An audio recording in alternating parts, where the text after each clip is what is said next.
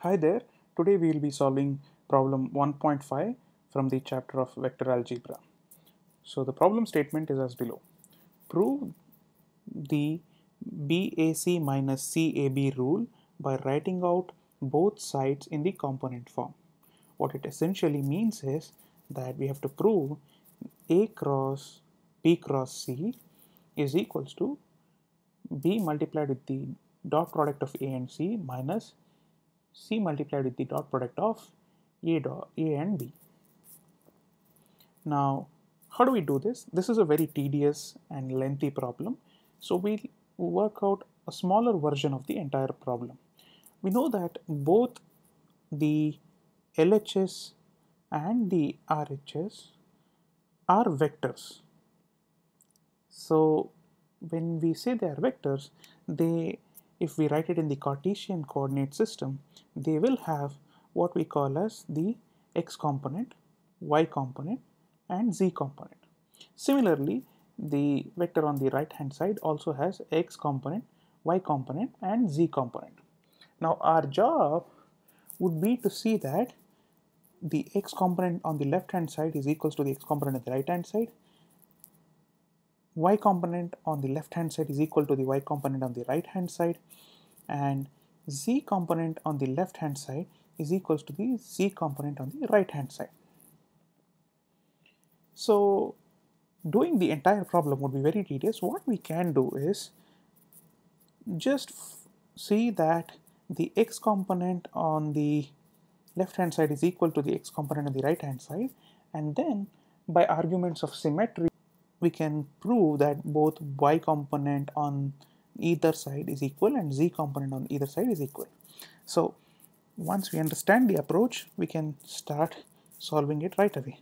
So let's first find a cross b cross c b and c in the brackets. So we'll start with the LHS.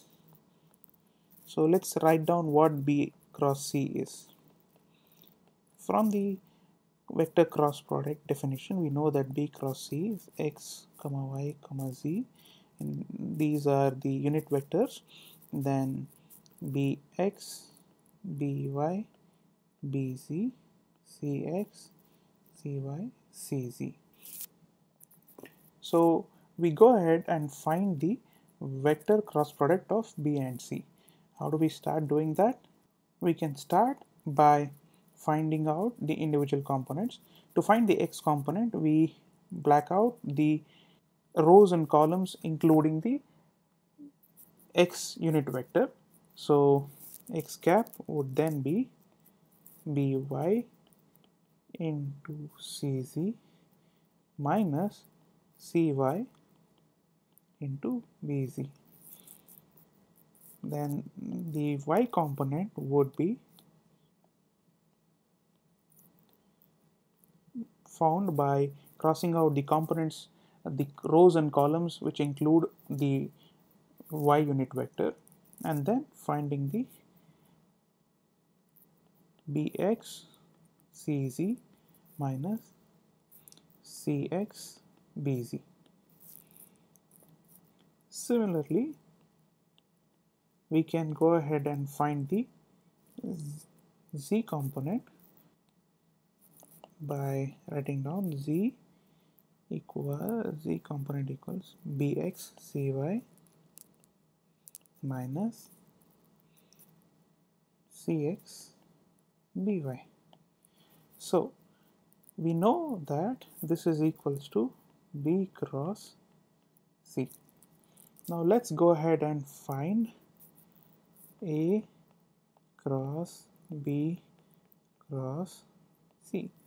So to find that out we will have to use a very similar matrix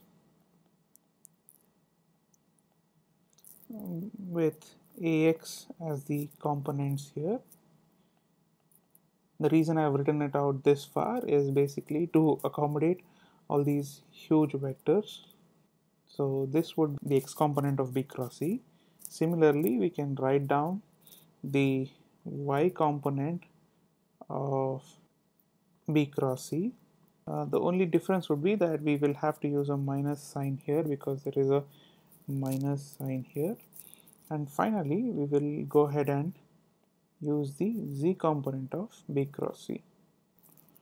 There it is. So as you see this is already getting pretty complicated so what we'll do is we'll go ahead and find the x component of this vector. So we will use the matrix here. So we'll go ahead and find the x component. How do we find the x component? We black out the x row and x column and then use the uh, cross product here. So we go ahead and write x cap the x component would be then ay multiplied with bx cy minus cx by once that is done minus we have this component here. So the minus of minus becomes plus and we write down bx cz minus cx bz into az now this is the x component of x component of the a cross b cross c with b cross c in the bracket. This is the x component of this particular vector. Now we will further simplify this and write it down as ay bx cy minus ay cx by so that gives us the second component.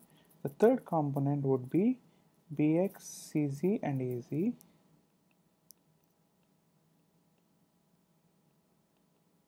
and minus the fourth component would be cx bz and az okay. let us store these answer as the first answer. Now it would be our job to go back and find the right hand side the x component on the right hand side. What does the right hand side entail? Right hand side is actually given by vector b multiplied with dot product of a and c minus vector c multiplied with dot product of a and b. Okay.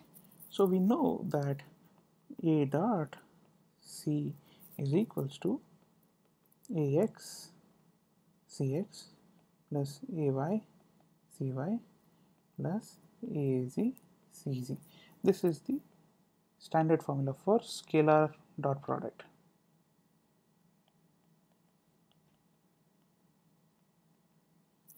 so then similarly a dot b would be ax bx ay by plus az bz in that sense so this is similar. Both of these are scalars. Now once we know this we have all that we have to do is find BAC and CAB so B B A dot C is equals to then BX plus by plus bz multiplied with the scalar here. Ax cx plus ay cy plus az cz then cab would then be cx plus cy plus cz multiplied with ax bx ay by plus az bz so let's go ahead and find these components now. So that would be bx into ax cx bx into ax cx plus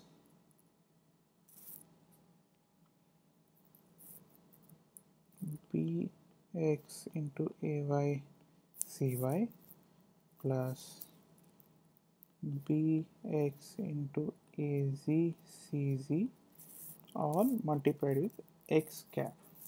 Similarly, we will have components for y and components for z.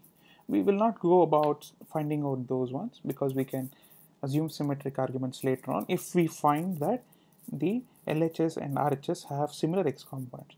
So we found the x component of b a dot c Similarly, we'll go ahead and find the x component of CAB. So that would be CX, AX, BX plus CX, AY, BY plus CX, AZ, BZ. All of this is the x component of CAB. Now we have to find BAC minus CAB which is basically the x component of each of them should be subtracted and we should be able to see that the result that we obtain from here matches with the value that we have obtained here. So let's go ahead and find that